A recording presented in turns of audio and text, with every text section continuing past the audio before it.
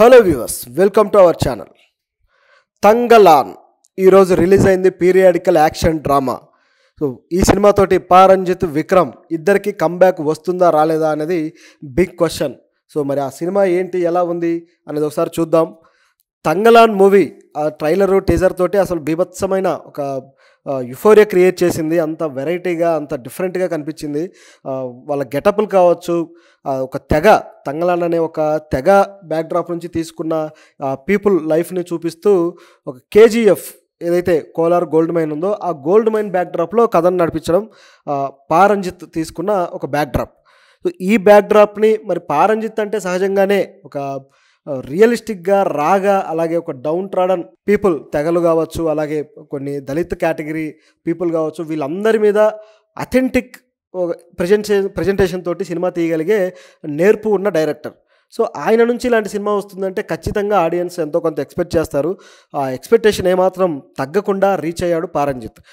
Thangalaan cinema ముఖ్యంగా ఈ Kolar gold mile సంబంధించి అసలు స్టోరీ బ్యాక్టాప్ చూస్తే కోలార్ అనేది మామూలుగా మనం కేజీఎఫ్ సినిమాలో చూసాము ఆ హీరోయిజం ఆ బిల్డప్ అదంతా కూడా. కాకపోతే ఇది ఇంకా నైన్టీన్త్ సెంచరీలో అంటే ఎయిటీన్ ఫిఫ్టీ ఆ టైం నుంచి జరుగుతున్న కాన్సెప్ట్ ప్రకారం ఇది అప్పట్లో కొత్తగా అప్పుడే అక్కడ బంగారం గనులు ఉన్నాయి అని బ్రిటిషర్స్ గమనించి అక్కడికి ఒక తెగను పంపి బంగారాన్ని తీయడానికి ఒక మొదలు పెడితే అక్కడి నుంచి ఆ కోలార్ గోల్డ్ మైన్ ఎలా ఎస్టాబ్లిష్ అయింది అనేది దీని కాన్సెప్ట్. అంటే మొదటగా ఎలా స్టార్ట్ చేశారనేది కాన్సెప్ట్ అనమాట సో బ్రిటిష్ అధికారితోటి ఈ తెగకు సంబంధించిన నాయకుడు హీరో ఒక ఒప్పందం కుదుర్చుకొని ఆ గోల్డ్ను వెతకడం కోసం బయలుదేరుతాడు.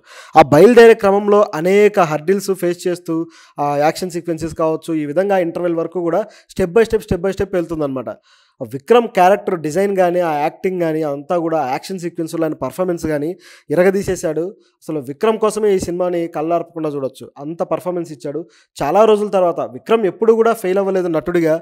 తన క్యారెక్టర్కి హండ్రెడ్ పర్సెంట్ న్యాయం చేశాడు. కొన్నిసార్లు కాన్సెప్ట్ బాగాలేక కొన్నిసార్లు డైరెక్టర్ల ట్రీట్మెంట్ బాగాలేక ఫెయిల్ అయింది తప్పితే విక్రమ్ ఫెయిల్ అయిన దాఖలాలు అయితే చాలా చాలా తక్కువ.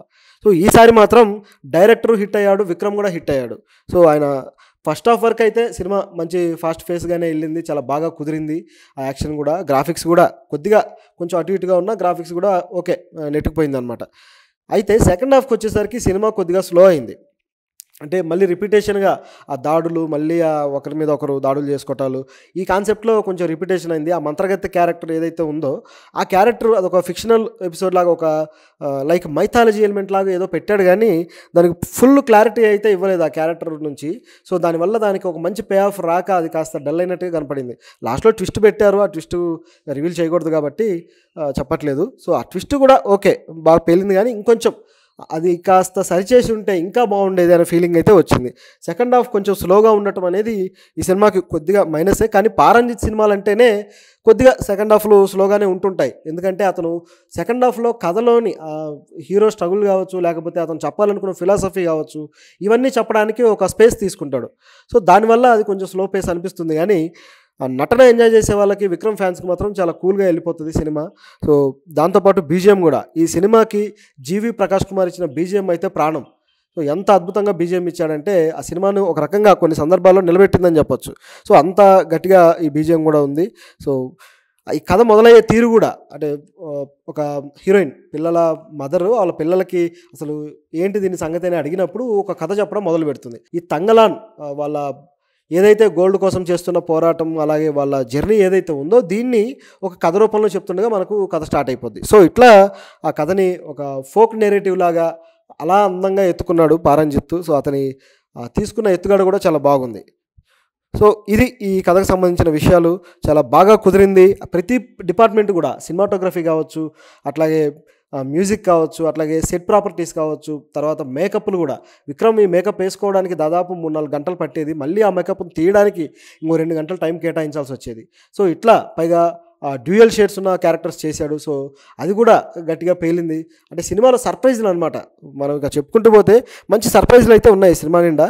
సో ఏది రివీల్ చేయకూడదు కాబట్టి స్పాయిలర్ లేకుండా మనం చెప్పాలనే పరిస్థితిలో ఇలా చెప్తున్నాం. సినిమా అయితే ఖచ్చితంగా ఒకసారి చూడొచ్చు.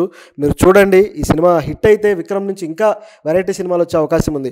ఊరికే రొడ్డకొట్టుడు అనకూడదు కానీ మళ్ళీ ఎందుకు వచ్చిన గోల? ఈ రొడ్డకొట్టుడు బచ్చన్లు రొడ్డకొట్టుడు ఇస్మార్ట్లు సో జనాల నెత్తి మీద సుత్తితోటి కొట్టడం కాకుండా వెరైటీ సినిమాలతోటి కొంతమంది డైరెక్టర్లు వస్తున్నారు. వీళ్ళని ఎంకరేజ్ చేస్తే ఇంకా మంచి సినిమాలు వస్తాయి. So go and watch.